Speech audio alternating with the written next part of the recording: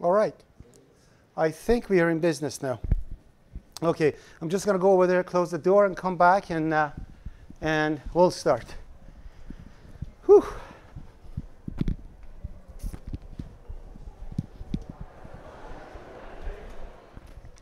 And one thing I wanted to ask from Seneca students, the next time that when we are coming in, and please, if possible, we all get close to each other. So when the questions are asked, your, your uh, audio going to be heard better by the people that are there. But not today, but we're going to do it later. So try to, try to sit on these computers, not the outside ones. All right? Okay, so uh, we are going to uh, today we're going to actually go through all the concepts of week one. And uh, so the quiz for next week that we are going to get will be, if we look at the timeline, it's going to be on computers, information, and compilers, these three concepts. Okay, and the first day that you're coming in is going to be Tuesday. That's when we're going to have the quiz at the beginning of the class. Um, I will explain how the quizzes are done, uh, but before that, I have to ask the, uh, the uh, Canadore students.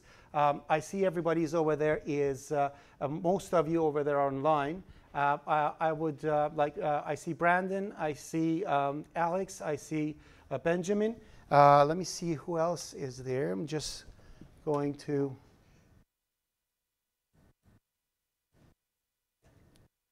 That's perfect. Wow, lots of people are there. Good. So if you have questions, uh, instead of talking into the microphone, I'm talking to people in Canadore. I think uh, the best way is to um, type it in the, uh, in the chat so I can see what the question is and then tell me further, take a look at the question. Like that, I won't have to ask you, what did you say, what did you say? Or if I ask a question and you want to reply to it, I think the best is to actually put it in a chat so I can see it over here like this. We're not going to have to um, do much of uh, back and forth uh, uh, acknowledgement thingies. Okay, so um, one question I have from Canadore students, uh, have any of you uh, tried to, uh, do you know what Matrix is? I mean, like, did you log into Matrix ever to see what it is? Anyone from Canadore? No. Okay, okay, good. So um, okay, no problem. Um, I'm going to demonstrate right now what Matrix is and how to log into it. And um, um, for those who have computers over there, uh, you can actually uh, do this, one of you. Uh, any of you have a Telnet client on your computer in Canadore? If you don't know what I'm talking about, that's very fine. Okay, so I'm going to actually tell you what a Telnet client is. Um, uh, over here in Seneca, if you go to your uh, My Apps and search for this, so essentially what you need to search for will be uh, a software called PuTTY. And let me actually open a Word client so I can actually um, type things for you to be able to see. So we are looking for we are looking for a software called PuTTY, okay? P-U-T-T-Y.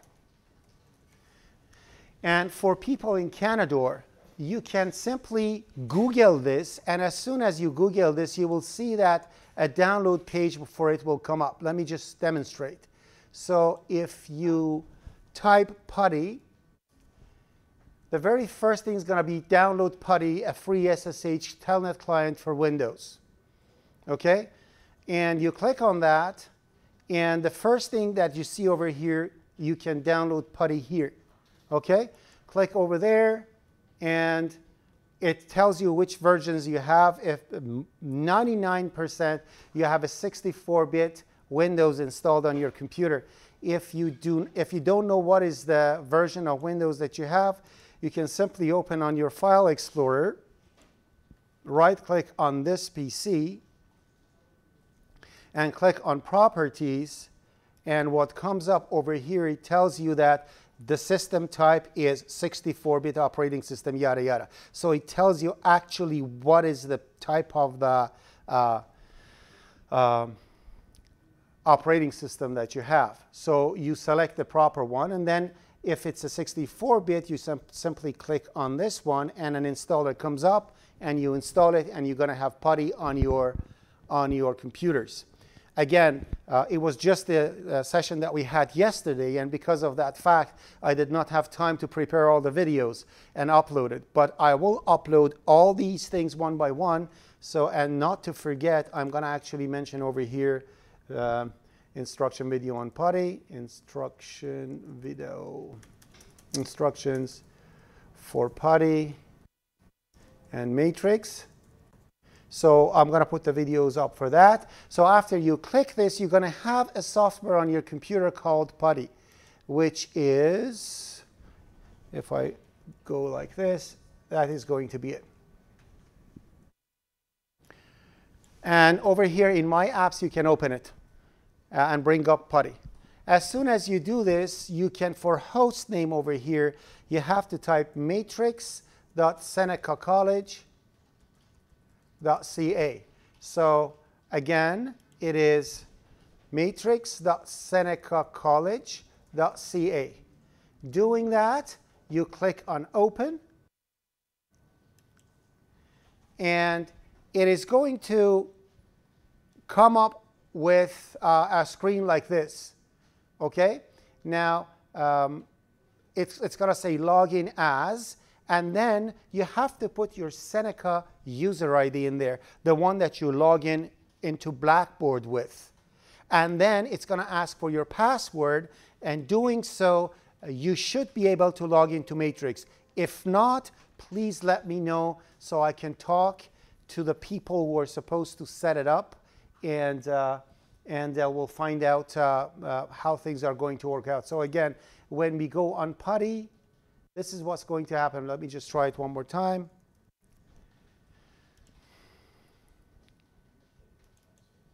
So again, it's going to ask for password. You put the password that you have for Seneca, and you log into PuTTY.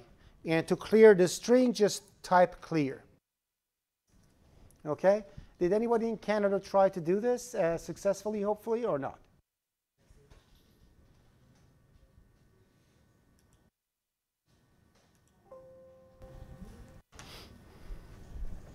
Anyone?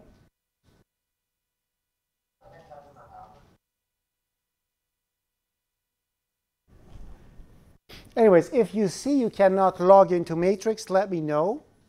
So um, then I can actually ask them to activate your account on Matrix. I'm going to just uh, get the list of all the students that I have in IPC, and I'm going to say I cannot type anything in. You cannot type anything in your uh, in your uh, uh, in the PuTTY. Oh, access denied. No problem. Good. So now that I know it's access denied, I'll take care of it. Don't worry. I'll uh, um, I'll talk to them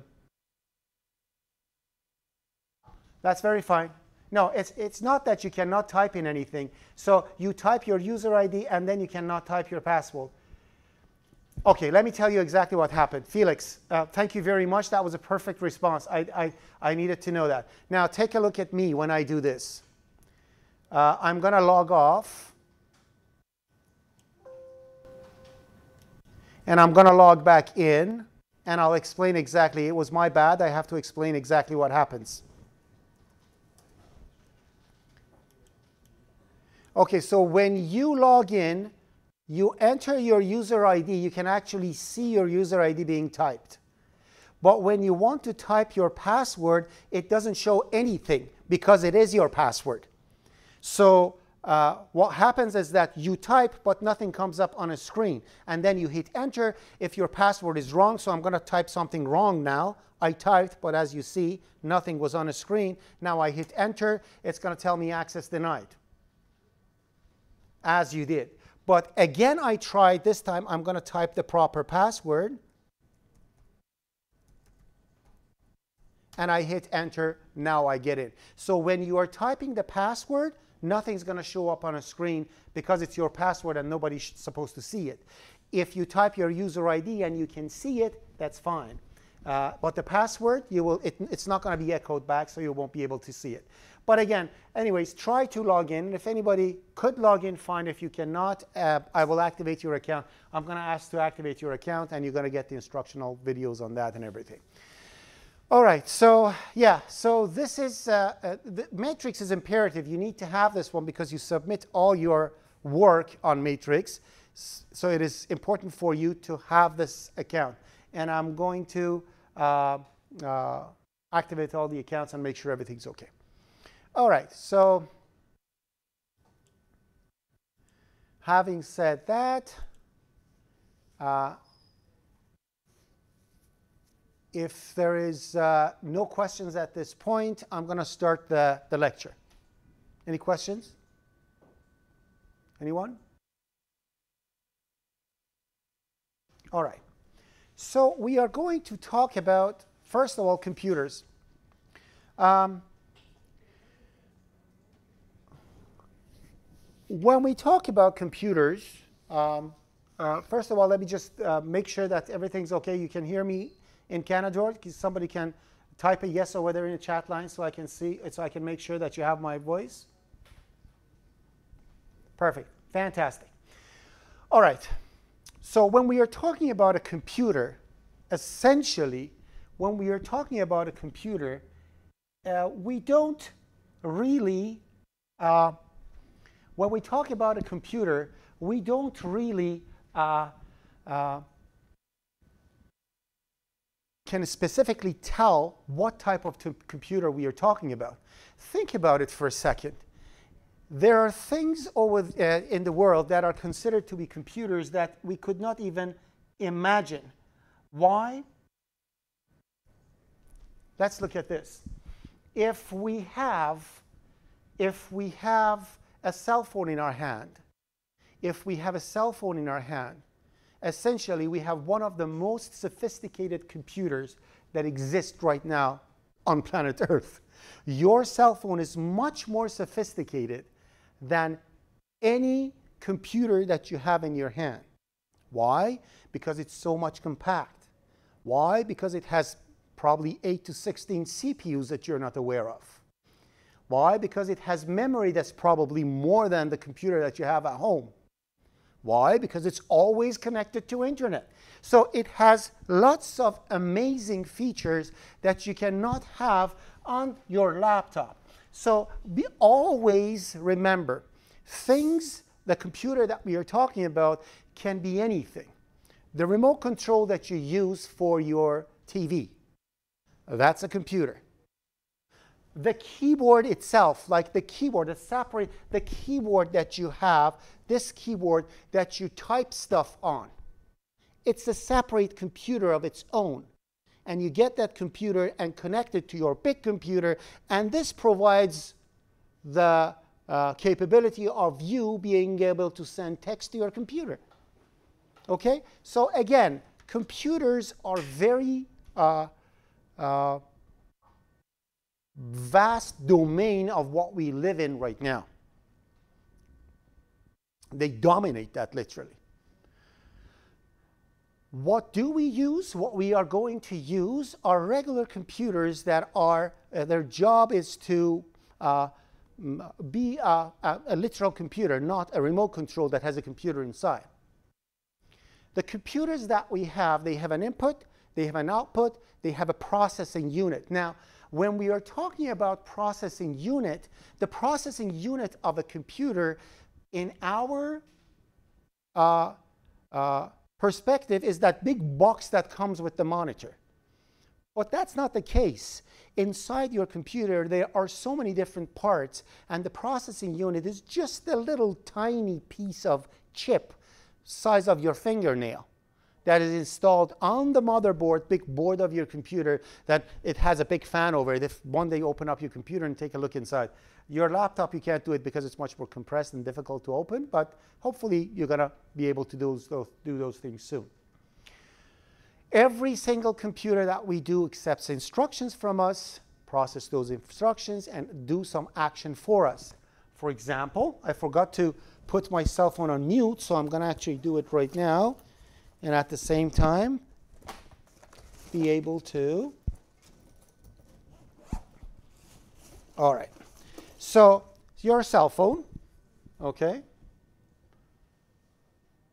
Let me just see. Right now, I'm going on my cell phone. I am trying to log into my cell phone. It asks for my pattern, the thing that you do. That was an input. It went to the cell phone, cell phone processes it and granted me access. I want to mute the cell phone. I put the click on the mute button and it gets muted. If I want to call somebody, I dial. So how do I enter? I put few marks, a few numbers over there and I hit on dial and the telephone call is made. So lots of action is happening. Input, process, output. Input, process, output. Input is the phone number. I'll, di I'll dial. I issue the enter command and it goes into the computer. The computer processes the action of phone calling and then it gives you the output of actual phone call that you can talk to your mom. All right? So that's uh, the process that happens every single time over and over and over. Each computer has a device installed in, inside that is called memory the memory inside your computer, you have heard about it, like how big, you, they're saying, how big is your RAM? It means how much random access memory, how much memory your computer have. The bigger the memory of the computer is, the bigger chunk of information can be kept into the computer, therefore your computer runs smoother. Therefore it's going to be, seem to be faster. So lots of people, when you're going out to buy a computer, you say, okay, I want a faster CPU. If you buy the fastest CPU, but your memory, the memory of the computer is not big enough, that CPU doesn't have big enough playground to play in. Therefore, it's not going to be fast. So it's always a balance. If you have a weak CPU, and then the biggest thing that you can get for your RAM, for your computer to be as fast as it can, is 8 gigs, for example. If you make it 16, it won't make any difference. So it's always a balance between the two. How fast my computer can process, how much memory I should provide for that processor so it can do the things faster. Okay? So that's all the things that you need to know.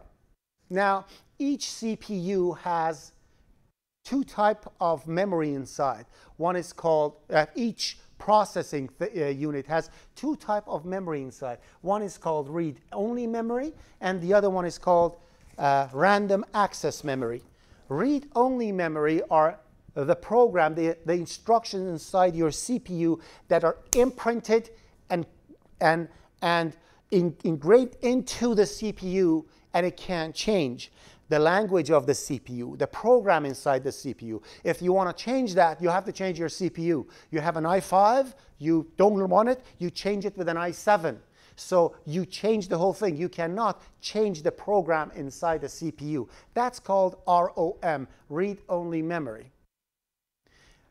RAM, that stands for random access memory, is not like that. It's a piece of memory in which you can write different instructions, wipe it out, and write new instructions. Wipe it out and write new instructions. So that's what uh, uh, read-only memory and random access memory stand for. Um, when we are dealing with when we are dealing with uh, memory, this is not something that I have that, that I want to uh, uh, uh, talk too much about. We just, we just need to understand what does it mean. When we, uh, what, what does it mean when we say memory? A memory inside the computer can be of many different types. Um, memory is a storage. It's something that you put instructions in. We can give a beautiful example that relates exactly to what it is, uh, uh, what the memory is with, uh, say, a bucket and a water. Let's say you want to get some water from a lake. What can you do? Can you move the lake? No. Lake is a huge, huge, huge memory that has lots of water in it. If you want to carry that water out, maybe you want to get a barrel and fill the barrel with water. So you can slowly move that barrel towards your cottage or whatever. Now, if you want to get water out of that barrel, you have to use a bucket. A bucket is smaller, holds less memory in it, holds less water, but you can move faster with it. But still, you can't go move faster. If you actually want to go hiking, you have to have a bottle and fill that bottle with the water and put it in your backpack. Now you can run. That's the exact same thing with memory. When you have a hard disk, disk, it's a gigantic piece of memory, but it's not as fast. If you want to run faster, if you want to get information faster, you have to get that information out of the hard disk and put it inside RAM. RAM is smaller, it cannot hold as much, but it's faster. But still, RAM is not fast enough for processing units' speed of thinking. For that, processing unit, the CPU, the central processing unit, has only around 16 small pieces of, of, of memory that are called registers. They are lightning fast, literally. Speed of light, speed of electricity. They are extremely fast. They are fastest thing that you can imagine. But because they are so fast, they are so small. So we talked about bytes last time. As we said, byte is essentially one piece of, uh, uh, of memory. Did we talk about bytes in, in, in, this class yesterday? Or it was the other class and I'm just mixing the thing? Did I talk about bytes and bits? No, I did not. So let's talk about it. Uh, anyways, uh, the, the, these registers are memories that are very, very small, but they are extremely fast. So uh, the chunks of RAM that has uh, information in it uh, are picked up and put into registers so the CPU can process them. And that's how the computer works.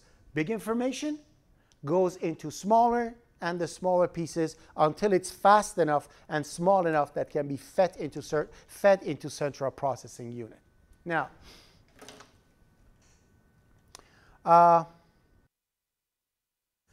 it, in here, as you see, it actually shows how, see how fast is a register. Register can be read in 10 nanoseconds. RAM is 60 nanoseconds, and then you go to hard disk, just take a look how slow the hard disk is.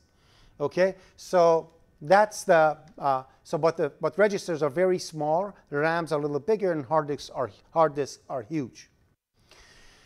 Now, software. What is a software? Software is essentially the group of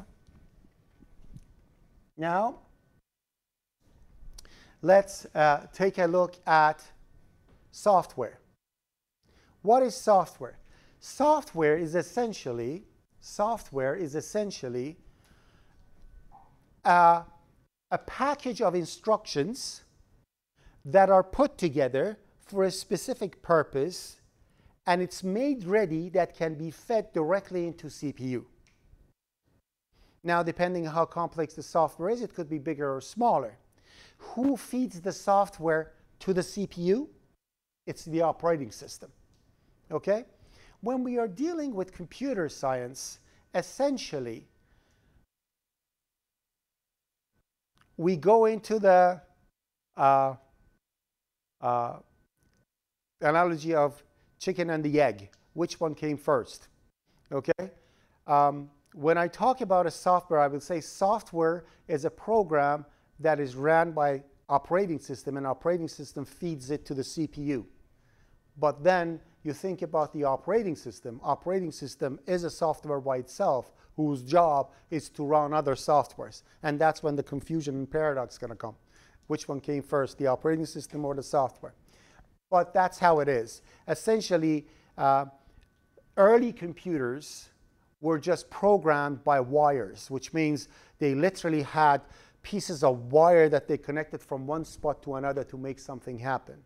And then after that thing was done, they uh, put that software, saved it in a small thing, and used that software to make bigger softwares. And it kept going like that. And then, then now we have this uh, gigantic softwares that are created very uh, uh in a very complicated way. Anyways, let's, uh, let's pass through it. So the operating system is the, uh, the main program that runs the whole computer, and the softwares that you create is going to be kept on the permanent storage of a computer, which is a hard disk, and you ask the operating system to take the software out of the hard disk and put it in RAM so the CPU can read it register by register and execute it. So that's the process of things. So essentially, when you go on your uh, uh, um, desktop and you double click on uh, a, an icon and you say, I want that icon to be open. So if you double click on that one, you essentially asking operating system to go get the software Chrome browser from the hard drive, bring it to the uh, RAM, and feed it to the CPU so CPU can run and show far that schedule. Okay? So it's the operating system that does everything, and it's the master of the, uh, of the computer. Uh,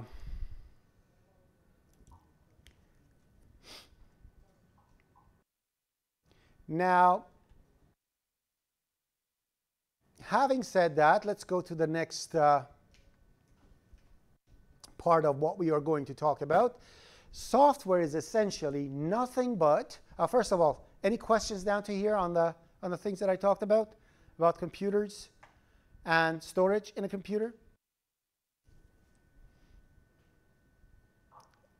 All right, so um,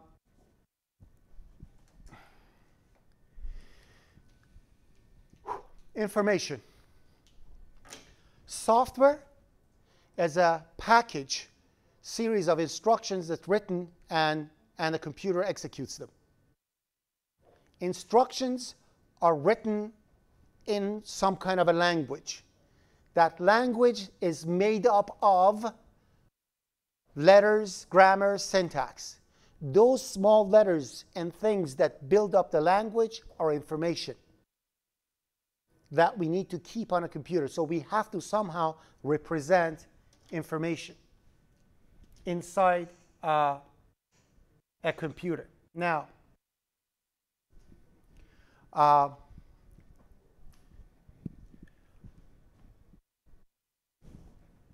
am I at the right place? Let me see. Uh, oh, I, am at the right. Let me just put the uh, the what the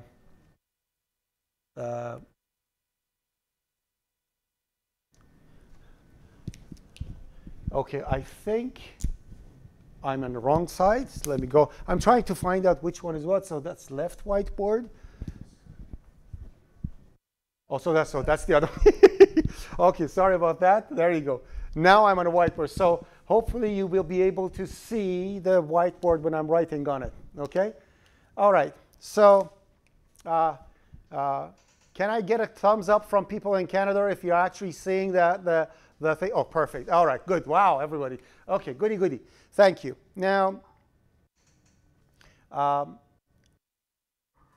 when we are dealing with information, the only way the information can be actually, that can be actually kept inside the computer, the only way you can actually keep information inside the computer, it is using a switch.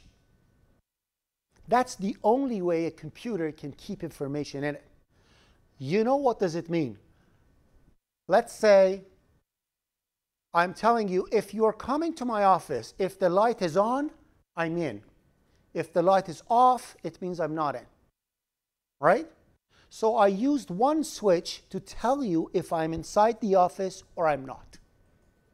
As simple as that. That's how computers work they have switches, small little tiny switches that are off and on, and this tells yes or no, okay or not okay, green or yellow, sour or bitter, day or night, or zero or one. Okay? So you can indicate with this switch whatever you want to indicate. But in computers, to be able to simulate these indications, we need two states, 0 or 1. So I will say 0 means light off, means I'm not at, in the office. 1 means light on, it means I'm in the office. So you need to tag information with these switches. A switch can show only two states and two states only. It, it cannot show anything else. You cannot say zero or one, and that's it. It's, it's only two ways, on or off, right? So they said it's not enough. If I have one switch, I can only show a zero or a one, and that's it. So zero, one, only two different ways of showing this. What if I have two switches? If I have two, so one switch is 0 or 1. Now, two switches, two switches, how they're going to be? How many different things? Both 0, 1, 0, 1, the other one 0 and the other one 1 or both 1. How many different positions? 1, 2, 3, 4. Correct? So with two switches, I can show four different possibilities, which means it's going to look like this. 0, 0, 0, 1, 1, 0. I put the thing wrong. And 1, 1. Are we okay with this? So I can show four different situations, four different states with two switches. What if I make it three switches? How many then? How many? Can anybody tell? Seriously? Silence completely? Okay, it's eight. All right? How does it work? Look at this. One, two, three, four, and then I'm going to go 0, 0, 1, 1, and 0, 1, 0, 1. Take a look. 0, 1, 2, 3, 4, 5, 6, and 7. How many different positions? 8, correct? Now, what if I want to have more? I only am showing 8 different positions, right? 8, eight different states. If I want to actually tag. If I, so if I look at this, if I keep going and say I want to make the switches 4, if I make the switches 4, these are a little too big. Let me just make it smaller so I can put everything in here. And I hope it's good. So I want to see how high I can put it so I can see down here. Okay, good. So it's 1, 2, 3, 4, 5, 6, 7, 8. 1, 2, 3, 4, 5, 6, 7, 8. 1, 2, 3, 4, 1, 2, 3, 4, 1, 2, 3, 4, 3, 4, 0, 0, 1, 1, 0, 0, 0, 1, 1, 0, 0, 1, 1, and then 0, 1, 1, 0, 1, 0, 1, 0, 1, 0, 1. If I have four switches, I can have 16 different positions.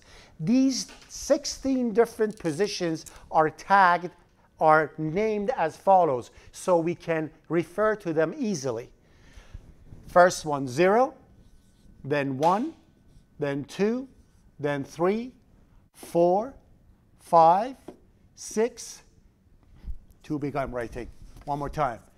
0, one, two, three, four, five, six, seven, eight, nine.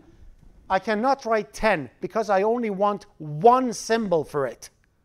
So they said 10 is 1 and 0. It's two symbols. That's not going to work out. I want one symbol. So they go A, B, C, D, E, and F.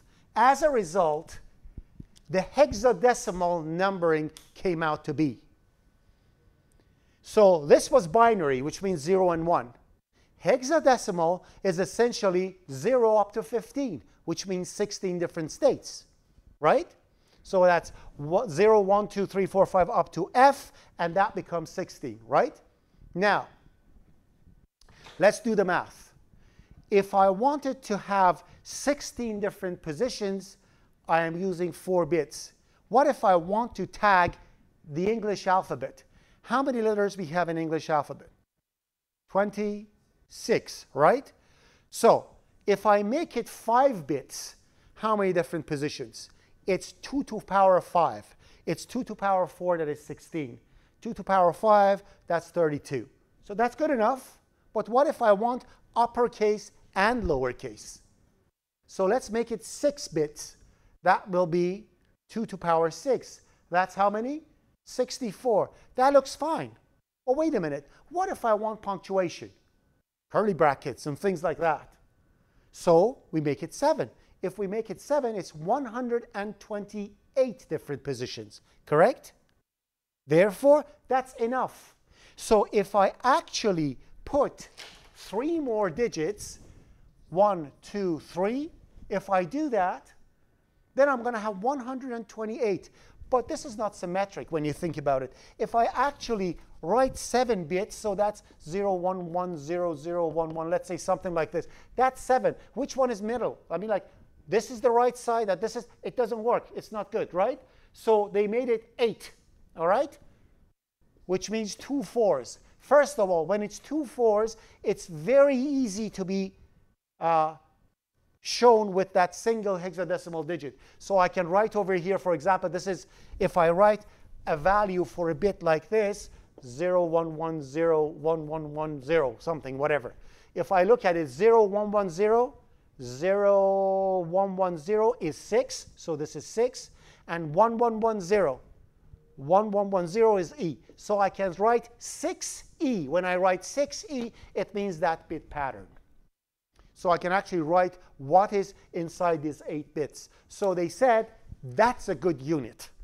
That's a unit that can show a character inside a computer. Let's keep it. They call that a, what did they call it?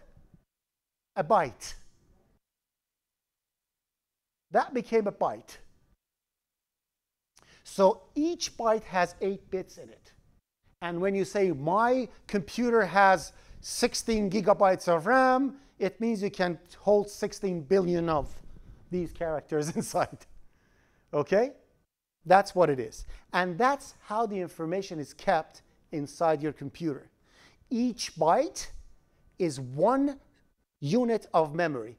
And the definition of byte is that a byte is the smallest addressable piece of memory.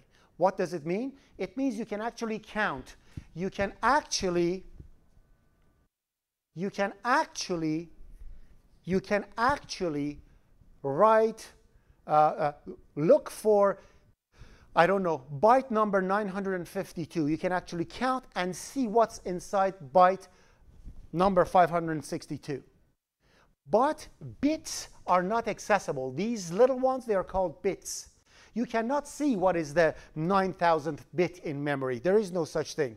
That's why when they ask you about the definition, that's the quiz, quiz question for the next day that you're coming in. What is the smallest addressable unit of memory? That's a byte. What is the smallest unit of memory? That's a bit.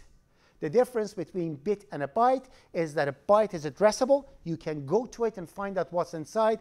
A bit is not accessible. It's inside a byte. To see what is a state of a bit, you have to play tricks. That we're not going to do it now. When you pass four uh, semesters, you can get data structures and an assembly language, then you're going to know how. For now, we don't need to know. Okay? So now we know what is the smallest unit of memory and how information is kept inside uh, inside uh, a computer. Uh, as I mentioned, like how hexadecimal values are set, these are all done. Uh, now, when you actually get RAM for your computer, you get several different chip, chips, cards. Like you can install four modules of RAM in your computer. What happens is that computer puts them all back to back together and converts it to a single chain of bytes.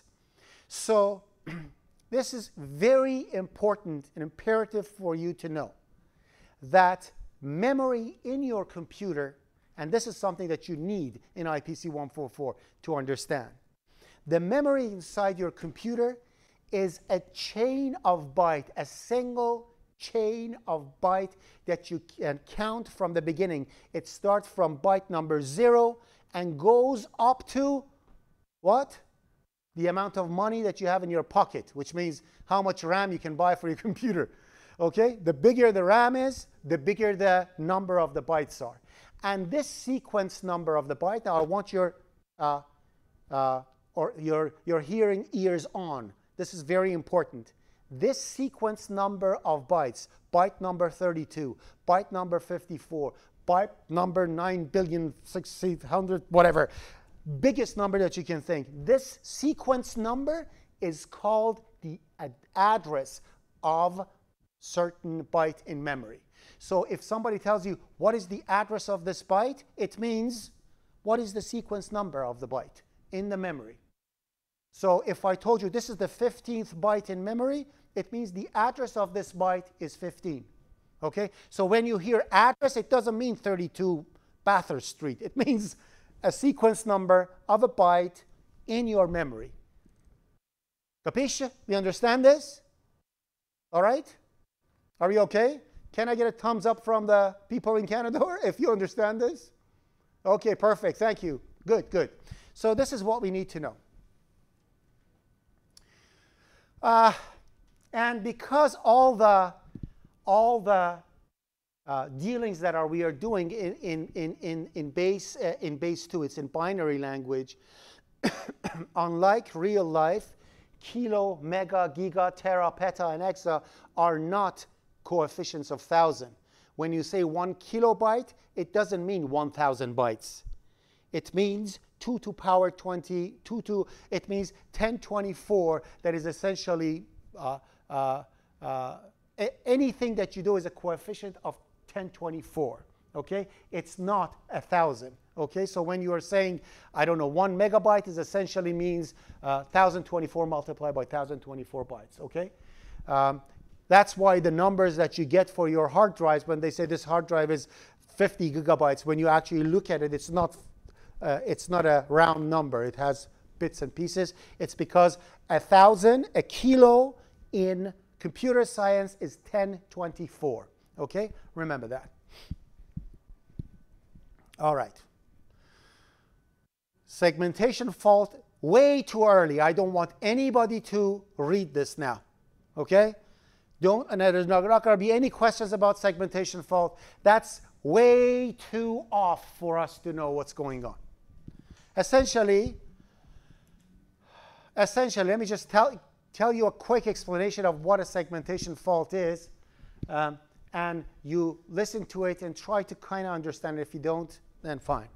When you are writing programs, uh, long time ago in a galaxy far, far away, programs used to be written as a single thing that, is, that has driven the computer, which means when you ran a program in your computer, no other program would run. That's old times. You had an operating system, then you ran a program, you ran a game. Then the operating system will execute the game, so you will see the game is running, but uh, the operating system will go away, would not be present. Your program runs, your game runs, and when it finished, the operating system would come back on. It was a single driven thing. These days, that's not the case. Your CPUs are so powerful that they can run 50,000 things at the same time. And that's why you have a browser open at the same time a, a music is playing, and at, this, at the same time, I don't know, you do 50,000 different things in a computer at the same time. Now, because of this fact, each program is, that is running is given a piece of memory to work with. For example, you run a program, operating system says, John, you wrote a program. Your program is supposed to run from this address to that address in memory. It should not go beyond and before. If your program tries to go out of its own segment, if your program does something that goes out of the segment that the operating system gave it to work with, you will get a segmentation fault and your program dies. Okay? That's what a segmentation fault is, but you will see it later on. as soon as you deal with it, but this is too early for us. I just told you what does it mean. So essentially, if you go out of your territory with a program, you get a segmentation fault. It means you went out of your memory. That's not your memory. Don't poke your nose in other people's memory. Okay? What does what do viruses and hackers do? They go over segmentation faults and screw around people's programs, and that's how they work. Anyways, uh, we're okay down to here? Okay? All right. I, I, uh, uh, my brain works much faster than my tongue. So I speak sometimes a little too fast and I mumble and I say things that people don't understand. Please stop me. And people in Canadore shout and say, slow down. So, so I don't talk too fast. My apologies if I do that. Uh, okay, I'll do that. Anyways, so uh, next thing that we need to talk about compilers.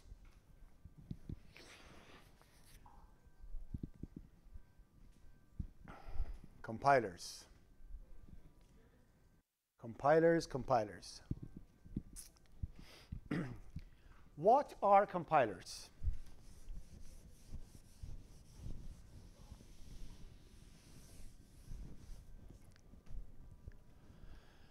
CPU understands CPU understands only CPU understands only machine language. CPU understands only zeros and ones. So essentially, if you want to write a program, you have to write it in zeros and ones, which is absolutely impossible.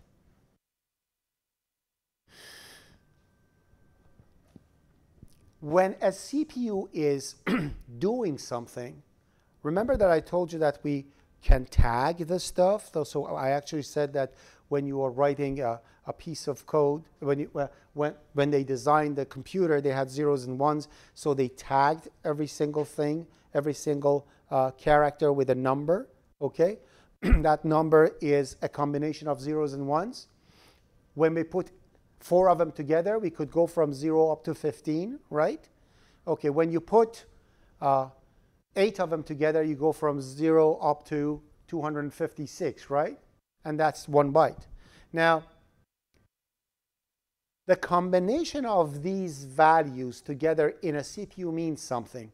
So a pattern of bits like 0, 1, 1, 0, 0, 0, 1, 1, 0, 1, 1, 1, 0, 0, 1, 1, 0 means add. oh, that's not add, that's ab. Add, okay? So something like that. Can anybody remember that?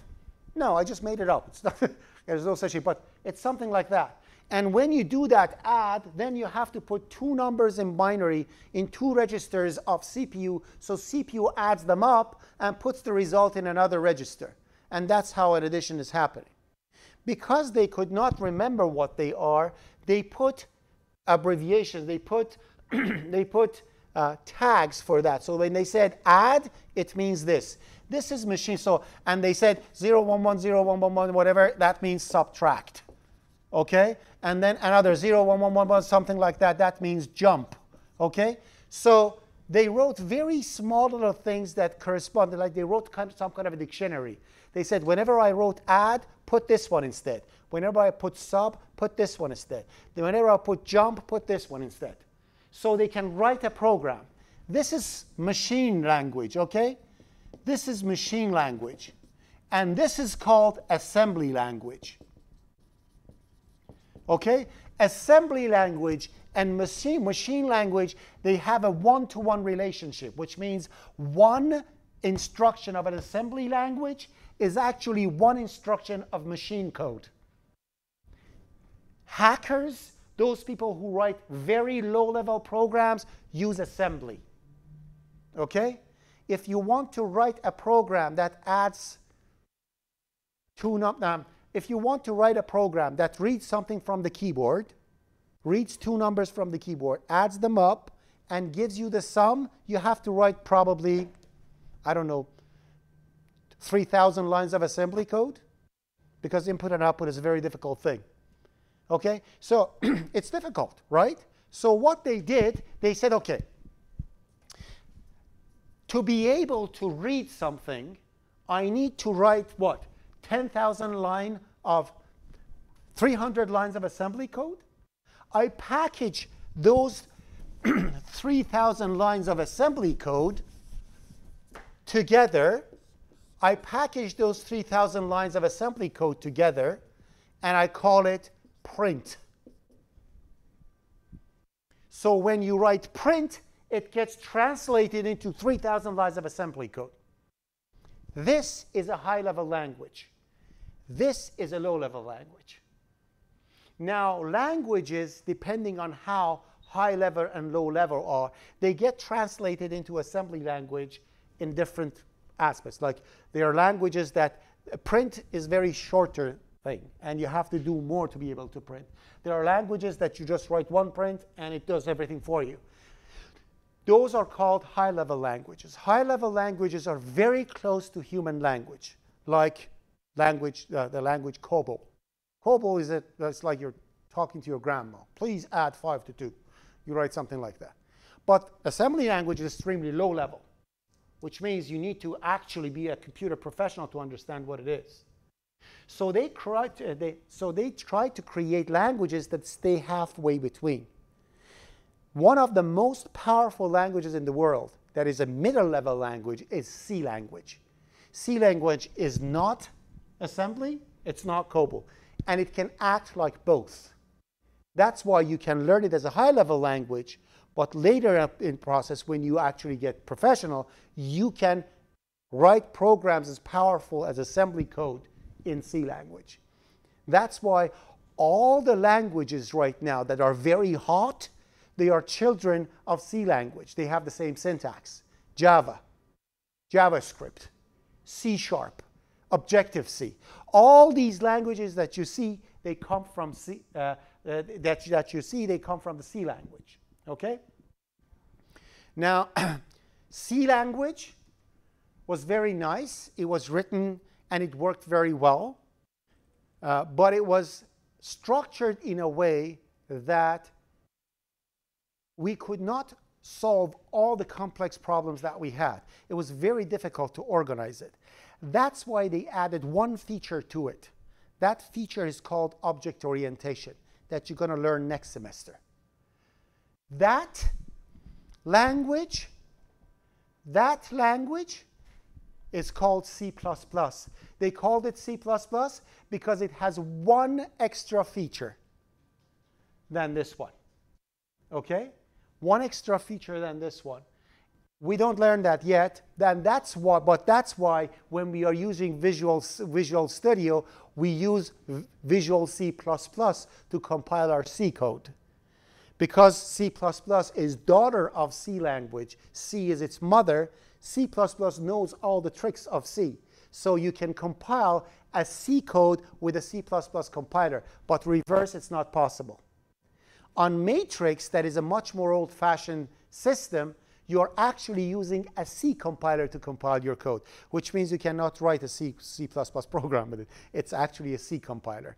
On Windows machines that we are working, we are using Visual Studio. We don't, because uh, Visual C++ is a very complex program, it has C++ compiler, and that's why we are using that. Okay? So that's how languages work. Any questions? Suggestions? Objections? No objections? All right. Okay, I have to actually get a headset and put something on my ears to, to be able to hear people in Canadore better. Uh, and I have to talk to whoever is designing your stuff over there to uh, give you a microphone.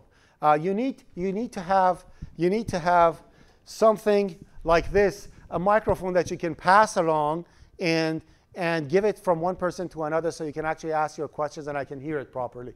Or a microphone with better quality. Anyways, um, so we have no questions about languages. Now, the languages that we just talked about. Now, when you write a code in C language, this code must get translated into machine language, zeros and ones, before it can run. Correct? That program, who does it, is called the compiler. Compiler is a program that receives a, a language and the compiler is written specifically for, for that language. So if you are writing a C program, you need a C compiler. If you are writing a COBOL program, you need a COBOL compiler. Okay? So you get the you get the compiler, you write your C program, you give it to the compiler. Compiler digests it, first checks for grammar errors to see if you wrote something nuts. If you see you wrote something nuts, it's going to say, hey, I don't understand what does it mean. Give me the right words. As soon as it checks all the grammar and makes sure everything is okay, it checks for basic logic facts to see if you have written the syntax properly. When you have written a command, the command has the proper notation for it. If that is okay, then it says it's okay. I can actually make this feedable for CPU. So it translates it into zeros and ones and saves it on a hard disk. Then it calls another program. That program is called linker. Linker will get your zeros and ones, put them together, and makes it feedable to CPU. And that is called, ladies and gentlemen, an executable program that you run and you see it doesn't work properly. So you have to go back to step one and start writing again because you wrote the program improper. You write it again, you compile again, you run, it doesn't work. Go back. You write, you compile, you test, it doesn't work. You go back. You write, you compile, it works. Perfect. You give it to the client, and after a month and a half, they come to you and say something went wrong. You go find out what's going on, you write, you compile, you do it again. So that life cycle of writing, compiling, and the, that development cycle is an infinite loop that happens over and over and over. And that's all the updates that you are getting on your programs, on your machines, on your cell phones. An update is available. Why? Because something went wrong. Nobody can write a perfect program. It is absolutely impossible.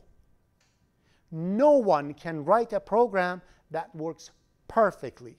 You can write a program that works properly and hopefully is not going to have as much problems. But if it does have a problem, then they're going to come back to you to fix it over and over and over and over. Are we okay with this? Are we okay? Thumbs up from Canadore. Thank you, thank you. All right, perfect. All right, so now we have this.